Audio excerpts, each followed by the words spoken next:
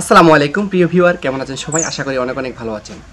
কবুতর নিয়ে এটা আমার চতুর্থ পার্ট তো আজকে আমি আপনাদেরকে একটি রোগ নিয়ে আলোচনা করব এবং রোগের প্রতিষেধক কী ব্যবহার করবেন তা নিয়ে আপনাদের সাথে আলোচনা করব। তো দেখতে থাকুন পুরো ভিডিওটি।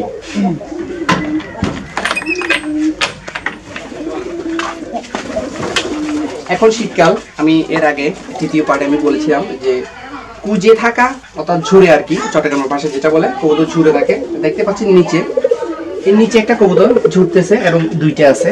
অর্থাৎ অনেক সময় রোগ আক্রান্ত হয়ে ঝুড়ে অনেক সময় অনেক সময় শীতের কারণে ঝুঁকে থাকে। তো এদিকে ভালো করে নজর দেওয়ার কথা বলেছিলাম আমি সেটাতে। আজকে দেখাবো এটা রোগ হলে কীভাবে বুঝবেন এবং এর প্রতিকারটা কি। তো আমি আপনাদেরকে একটা কবুতর ধরে দেখাচ্ছি।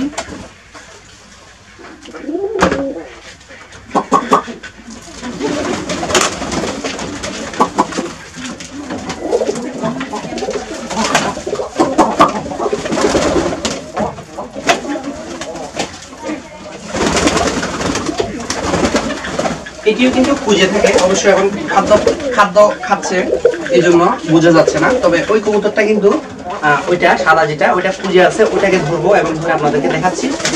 আসতেছে না।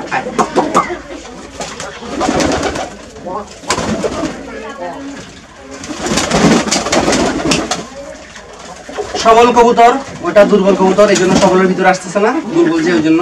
এক পাশে যাচ্ছে, আমি ওখান থেকে দেখতেছি সেটাকে।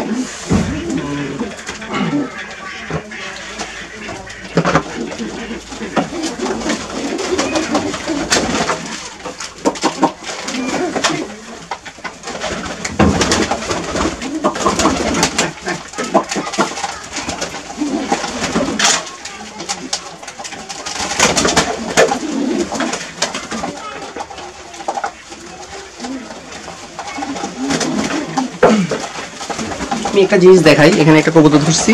এটা কিন্তু পুরো দমে সুস্থ কবুতর, দেখা যাচ্ছে। তবে একটা জিনিস ভালো করে লক্ষ্য করবেন, আমি দেখাচ্ছি। এখানে এই যে আমরা বুক বলে থাকি এটা এটা কিন্তু একদম চিকন হয়ে গেছে। একদম চিকন হয়ে গেছে। এবং পায়খানাতে একটু ট্রাবল দেখতে পাচ্ছি আমরা, দেখতে পাচ্ছি এখানে।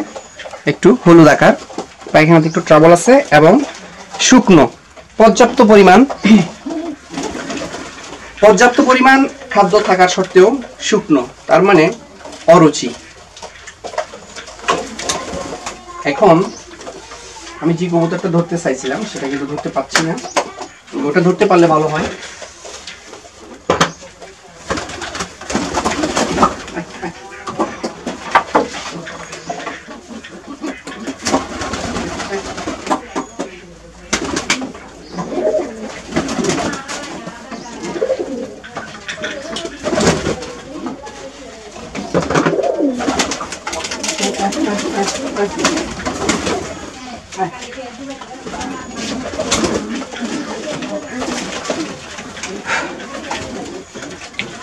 দেখতে পাচ্ছেন এখানে স্পষ্ট দেখা যাচ্ছে এর বুকের যে হাড্ডিটা সেটা কিন্তু একদম বের হয়ে গেছে।